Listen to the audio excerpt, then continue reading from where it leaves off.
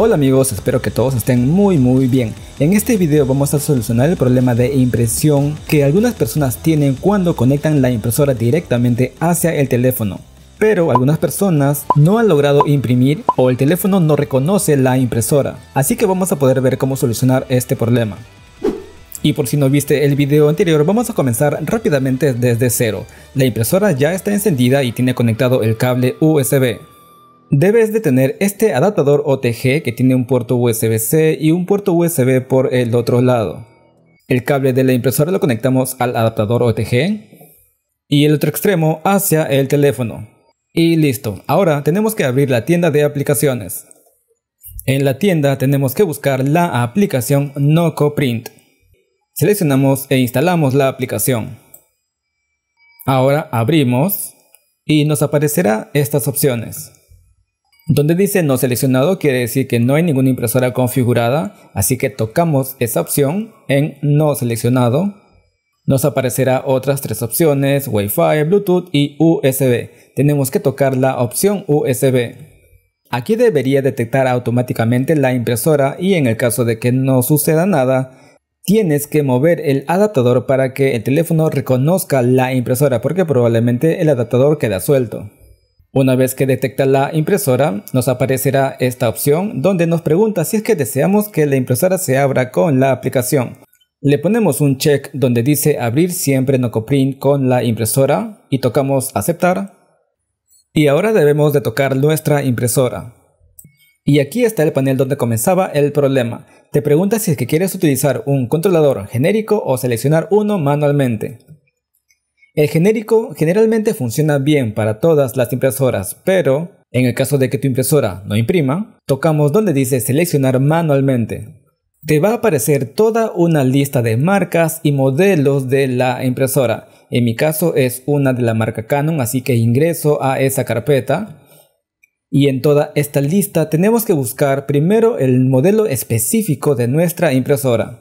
En mi caso es una Canon G2170 pero cuando no la encuentras tienes que utilizar el controlador para esa serie de impresoras. Por ejemplo, aquí aparecen controladores desde la serie 2000, 2010, 2020 y 2060. Yo voy a seleccionar la opción 2060, que es la que funciona para este modelo. Una vez que la impresora se ha instalado con éxito, tocamos aceptar. Nos aparece la opción de notificaciones, esta vez voy a seleccionar permitir y podemos imprimir fotos e imágenes, documentos o alguna página web. Voy a tocar documentos y desde ya te recomiendo que tengas algún documento en PDF porque son los documentos más compatibles con todas las aplicaciones y también con las impresoras. Esto en el caso de que se haga una impresión móvil. Selecciono mi documento y aquí están las páginas que voy a imprimir. Son 11 páginas pero en el caso de que solamente quieras imprimir una o hacer alguna modificación en la impresión, tocamos el icono del engranaje de configuración. Aquí podemos cambiar la cantidad de copias, el rango de páginas para imprimir. Como voy a imprimir solamente una, toco serie y escribo ese número de páginas que quiero imprimir, que es la primera. También podemos modificar otras opciones como por ejemplo el tamaño de papel y las opciones de color. Tocamos en opciones, podemos cambiar el tamaño y el modo de salida. Podemos imprimir en borrador, normal o en papel fotográfico también. En mi caso marco la opción normal y luego toco el botón imprimir. Si por si acaso en tu impresora aparece algún error o hay alguna luz encendida, únicamente presiona el botón OK para que continúe con la impresión porque probablemente hay un problema con el tamaño de las páginas y con el tamaño que tienes en la bandeja del papel. Así que únicamente presiona OK para que la impresión continúe. Y al cabo de unos segundos aquí tenemos nuestro documento que fue enviado a imprimir desde el teléfono utilizando un cable USB. Para imprimir un nuevo documento solamente tienes que retroceder para volver a la página inicial. Ahora voy a suponer que no tienes un documento PDF y solamente tienes documentos en formato Word. Te va a avisar que va a descargar e instalar la biblioteca y las fuentes. Tocamos continuar. Esperamos que descarguen los archivos adicionales de NocoPrint. Y tras unos segundos, aquí tenemos nuestro documento de Microsoft abierto y que ya puede ser impreso. Si quieres hacer alguna modificación, ya sabes, tocas el engranaje de configuración.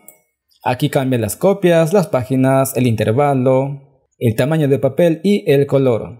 En las opciones de papel e impresión, especialmente en el modo de salida, como esta vez estamos imprimiendo un documento de Microsoft, un documento Word, solamente vamos a ver la opción de color normal, en grises y papel fotográfico. Pero esto va a cambiar dependiendo de la impresora y modelo que tengas, así que lo que yo te estoy mostrando es probable que no lo estés viendo tú tal cual lo estás viendo en el video. Entonces para el modo de color voy a seleccionar la opción normal y toco aceptar. Una vez configurado todo, tocamos imprimir. Ya sabes que si te aparece algún error, únicamente presiona OK. Y al cabo de unos cuantos segundos, aquí tenemos nuestro documento impreso desde el teléfono.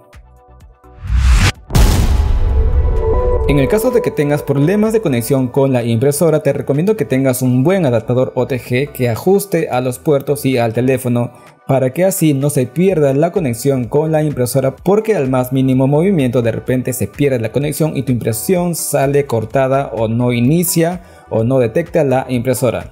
Estos adaptadores los puedes conseguir fácilmente en AliExpress o en Temu o en alguna tienda local que venda accesorios de tecnología. Así que eso ha sido todo, espero que tu problema se haya solucionado, nos vemos hasta la próxima.